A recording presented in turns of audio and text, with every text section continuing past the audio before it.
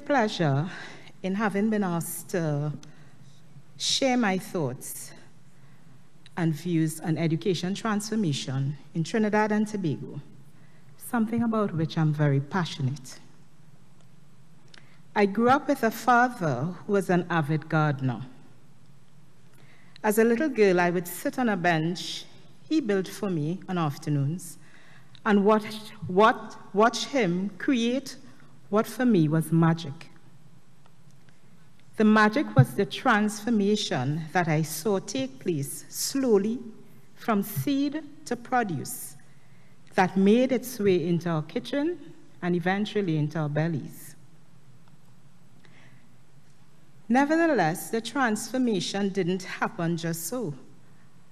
And I took note, and now, I, as I reflect as an adult, I understand that what my father was teaching me while I sat on that bench was a way of life, an understanding of how we ought to behave in life if we want to grow and if we want to know.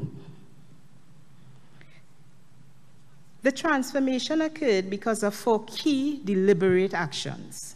One, my father created an environment in which the plant could thrive. And I noted that not all environments were suited for all plants, and that unless the seed was put into the right environment, it would not bear fruit. This taught me purpose. The growth process required sustained commitment supervision, care, and monitoring, wetting and mulching, fertilizing where necessary, and so on. Thirdly, my father knew what he was doing. He was quite confident. He knew how to move the seed to produce. He was competent. If he wasn't sure about anything, he had his gardener friends with whom he would consult and collaborate, and he would also do his research. Fourthly, my father operated from a position of love. You only had to see him come alive when he was tending to, tending to his plants. When it came to taking care of them, he left nothing untouched. He was most concerned about the plant that seemed weak, and he was determined to do all in his power to ensure that these particular plants succeeded. Education transformation is much like doing great gardening, like my father did.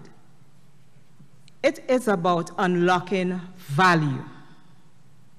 The outcome is to grow our children into productive, functional global citizens. It means creating and implementing policies and practices along the lines of or undergirded by inclusivity, differentiation, and equity that ensure that all students, like the plants, are placed in an environment in which they can thrive and their value can be realized and honed.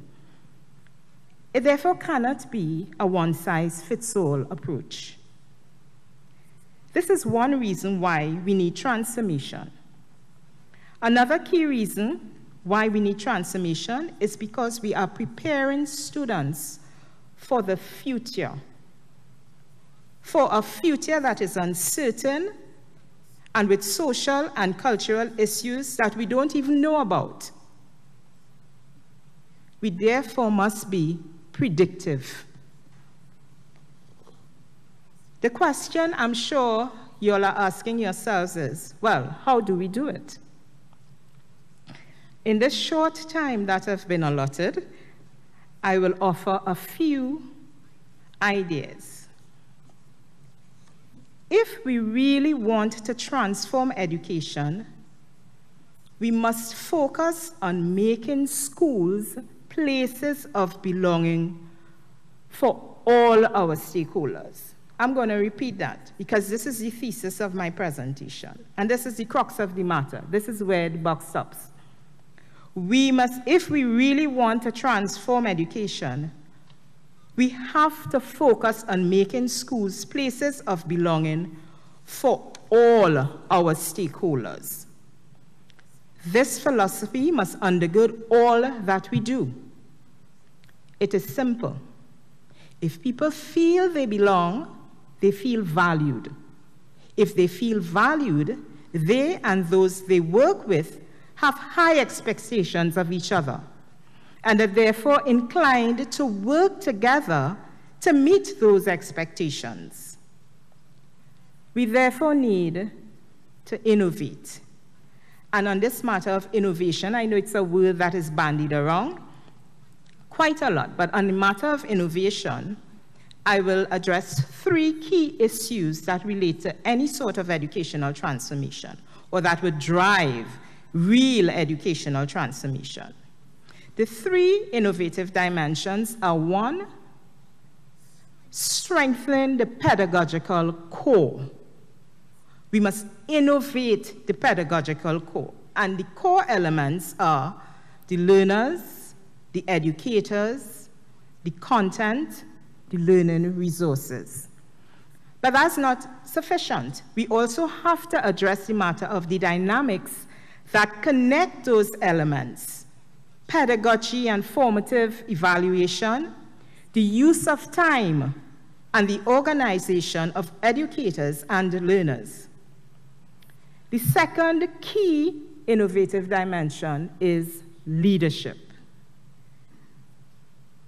Leadership must not just be proactive, leadership must be predictive and become formative organizations with strong learning leadership.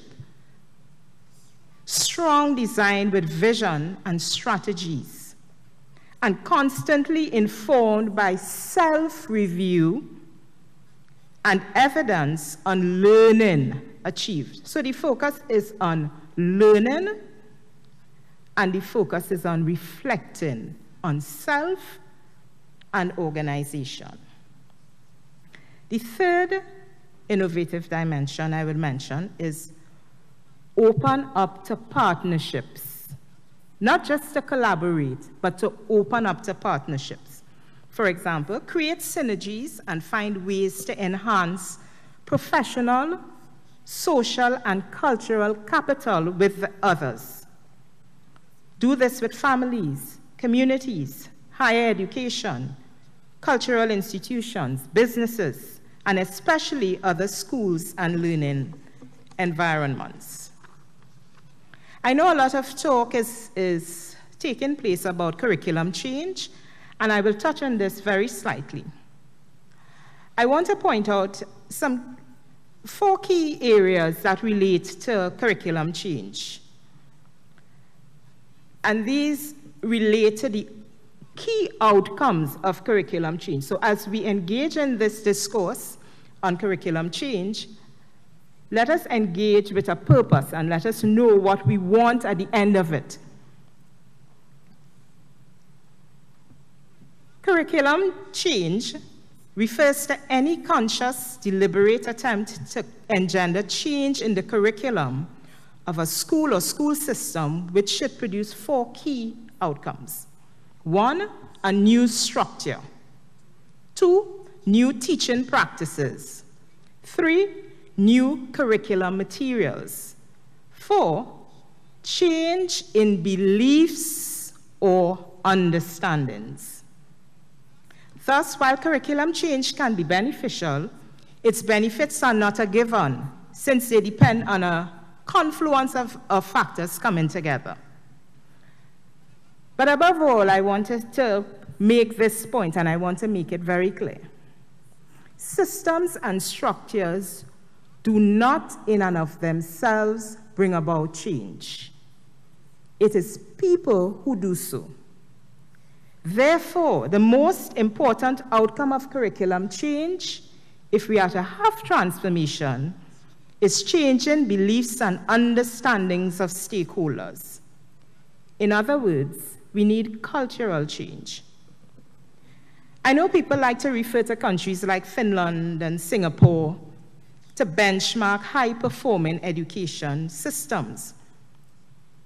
But we must remember that in these contexts, educators are highly valued, and there's an embedded culture of adapting and, most importantly, understanding the notion of failing fast and failing forward.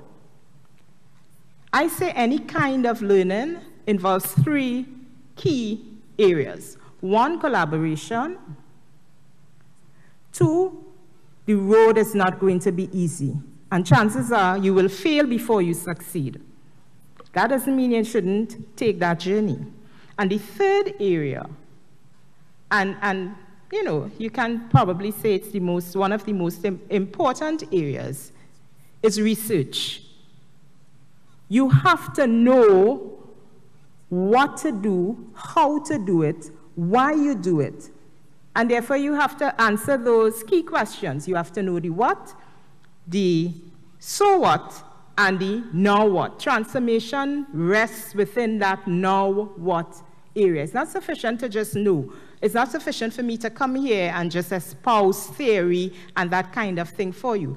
We have to be on all committed to the journey of where, what now? What are we going to do now? I leave you with this. Well, before I leave you with this, leadership is critical to achieving any form of transformation. In the educational context, the transformation we are looking for, in particular, is the transformation in learning, learning at all levels, but key, student learning. And where transformation is the goal, and improving student learning is the outcome, teacher quality is one of the most significant factors to improve student learning and to transform any society. I leave you with this. Let us all, as education stakeholders, ask and answer honestly the question, is the work I am doing having the impact that it should. Once you have asked and answered that question, then let's take action. Education transmission is a call to action. Thank you, ladies and gentlemen.